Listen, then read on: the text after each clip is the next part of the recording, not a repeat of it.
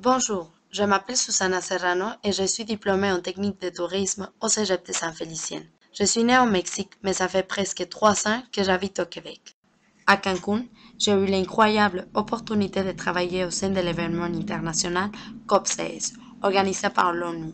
Cela m'a motivé à apprendre une troisième langue, le français, et j'ai choisi le Québec pour le faire. Dès mon arrivée, je me suis impliquée bénévolement à plusieurs événements, tels que la bourse touristique Bienvenue Québec organisée par la PAC, les Jeux de Québec, les journées portes ouvertes au Cégep de Saint-Félicien, les défis Pierre Lavoie, le Calgary Blues Festival, entre autres. Aujourd'hui, je désire de continuer à construire ma carrière ici au Québec.